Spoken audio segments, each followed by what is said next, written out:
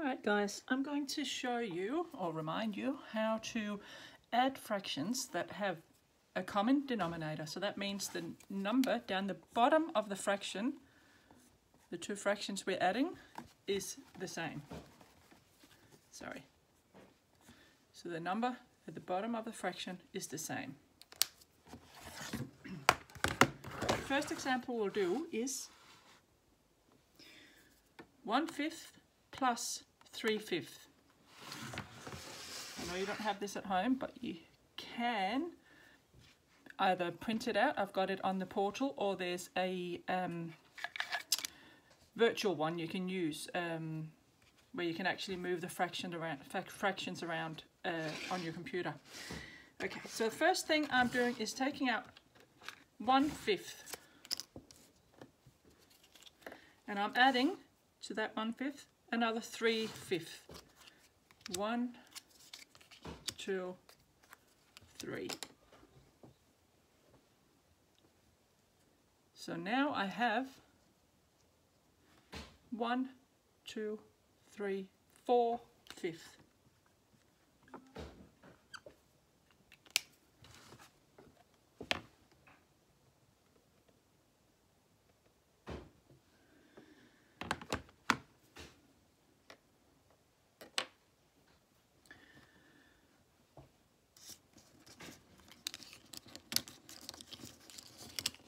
Okay. Next one I'm going to do is 2 sevenths plus 3 sevenths. Again, I start with my 2 sevenths.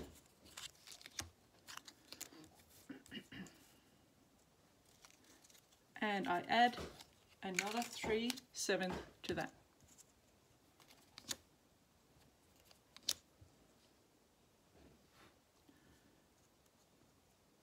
Now I have one, two, three, four, five, seventh.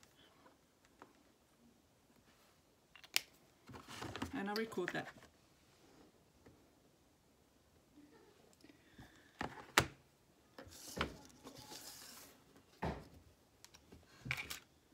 Next, I will do three eighths plus four eighths.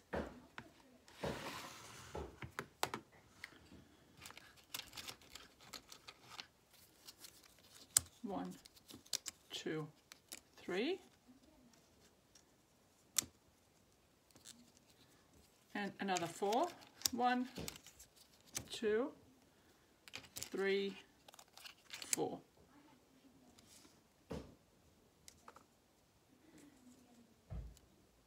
I now have one, two, three, four, five, six, seven eighths.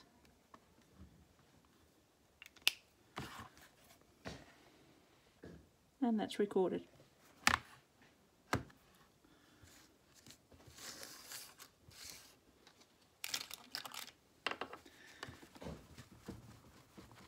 Okay.